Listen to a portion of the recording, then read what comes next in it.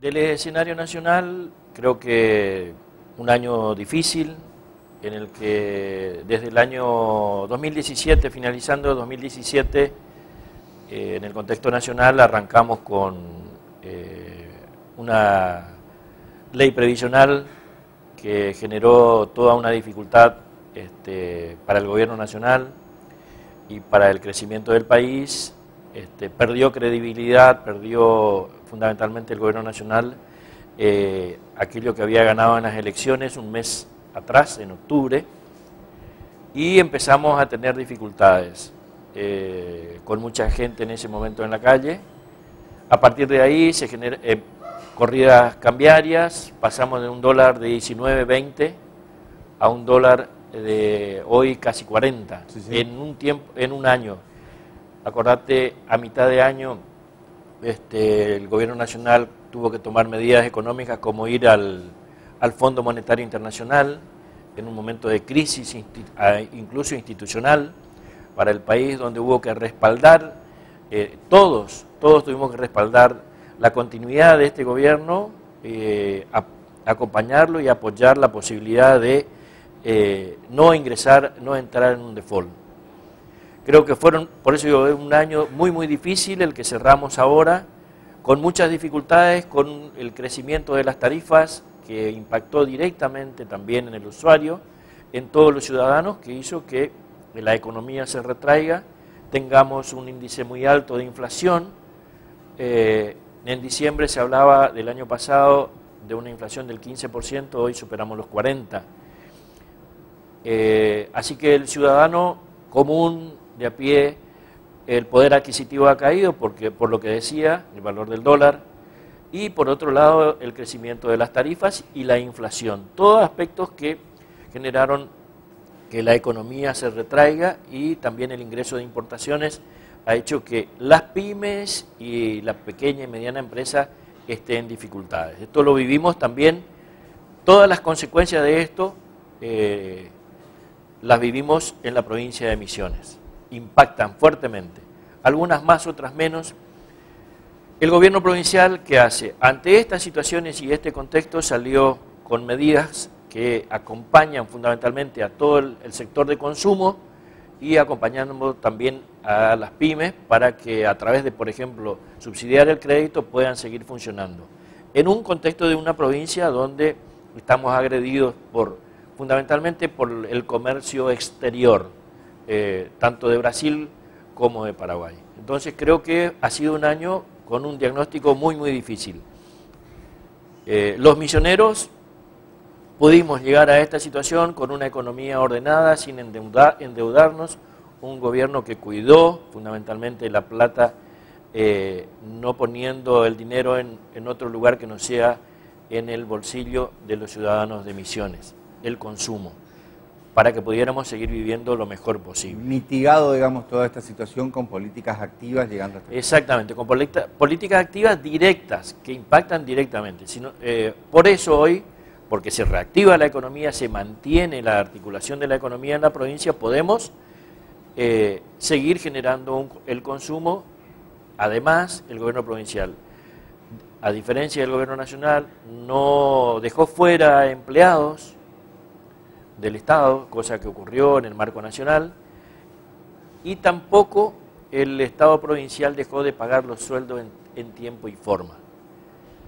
De las provincias que paga el sueldo en tiempo y forma, eh, antes del 30, es, son solamente tres en el país. Y eso es, eh, el marco de ser una provincia previsible permite que cualquiera de nosotros que dependa de la provincia, directa o indirectamente, los pagos ocurran con la frecuencia prevista. Se mantiene la, circulación de la economía. Ahora, con todo este panorama, ¿cuáles son las perspectivas que ve usted para el 2019? Las perspectivas para el 2019 yo creo que desde lo económico vamos a seguir teniendo dificultades. Me parece que el gobierno nacional eh, tiene dificultades hoy para este, salir de este momento si bien hoy estamos viviendo una situación más tranquila que el resto del año, el dólar se mantiene estable, es necesario yo creo que trabajar sobre la, reactivación del sistema económico en el país. por controlar la inflación, vamos hacia retraer la economía, lo que hace que la pequeña y mediana empresa retraiga su venta o su producción, y eso no es bueno. Yo lo que creo que tenemos que reactivar la economía inyectando este, el activo del dinero circulante en todo el país. Y eso, eso es lo que nos está haciendo falta y creo que eh, eh, el gobierno nacional todavía no le encontró la vuelta para activar desde el Ministerio de Producción la actividad económica en nuestro país. Creo que eso es una gran dificultad que vamos a tener el año que viene si no vamos hacia, ese, hacia esa eh, perspectiva.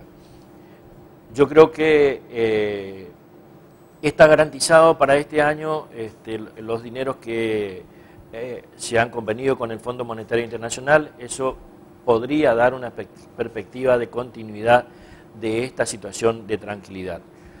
Lo que uno no sé y no podemos manejar nosotros es qué va a ser el sistema financiero, que es el que por ahí desestabiliza eh, las situaciones económicas del país. Yo creería que, siendo optimista, nosotros los misioneros, como decimos siempre, tenemos que vivir con lo nuestro, tratando de mitigar las dificultades que aparezcan desde, desde la economía nacional. Y en esa perspectiva yo creo que estamos bien. Este, un gobierno atento, tratando de resolver las problemáticas eh, puntuales, asistiendo directamente, fundamentalmente yo creo que la asistencia directa a los que tienen dificultades no importa el orden económico que sea. Ahora, lo increíble es que la provincia, eh, digamos, ataja, contiene todo lo que puede, pero siempre ligada a factores externos, con mucha incertidumbre por lo que usted dice, como, arranca, ¿no? ¿Por qué? Porque, a ver, eh, Marcelo, concretamente, un plan nacional e-, económico hoy no está previsto. Yo lo que creo que desde lo político es la resolución de esto. No tenemos que pensar solo en la economía, si nosotros no vamos hacia, eh, creo que es fundamental, este, yo puedo tener muchos ingresos, pero si soy desordenado, no me alcanza igual la plata, Marcelo. No me va a alcanzar nunca la plata. Lo que nosotros debemos ordenar es a través de actitudes concretas. Y la gran actitud que nos está faltando a los argentinos es la del encuentro. Es decir, la, grieta, la crispación reina hoy en el país.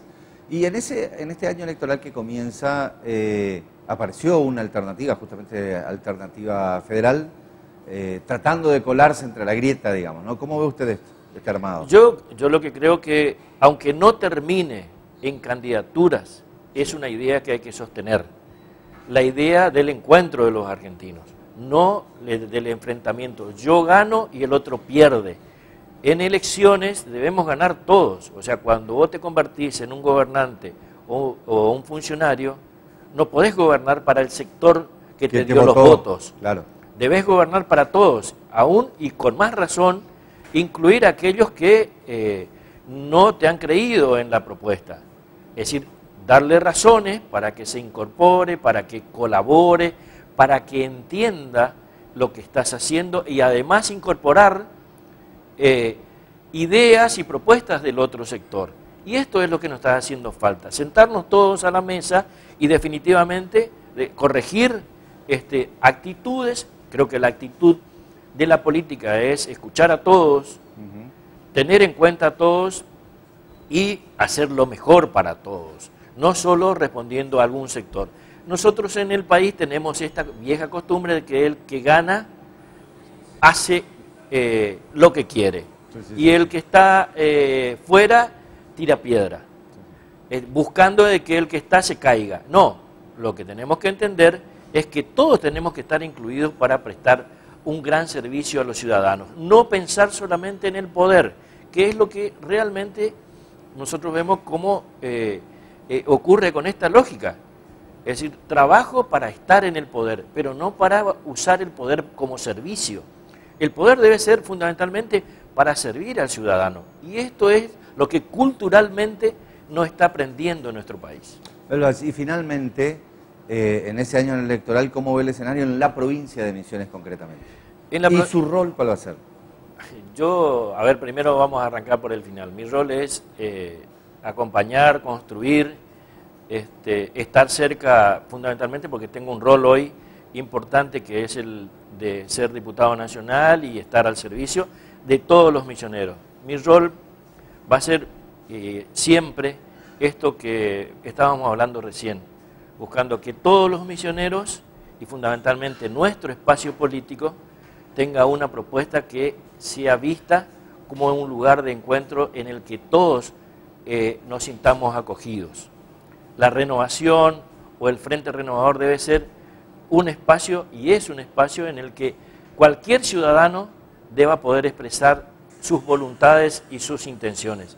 Así que eh, desde ahí, en ese lugar me van a encontrar.